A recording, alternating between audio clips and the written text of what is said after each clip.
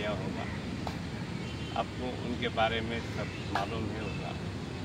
ये उनका स्वप्न जो पूरा करना है man making and nation building इसके लिए एक नाथ जी रानडे ने 1863 में सौ साल जब उनको हो गए, तब डिसाइड हो गया था कि उनके स्मारक, जिला स्मारक बनाया जाए।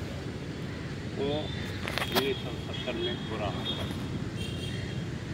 अभी उनका जीवंत स्मारक बनाने के लिए एक नाथ जी रानडे ने विवेकानंद केंद्र की स्थापना की।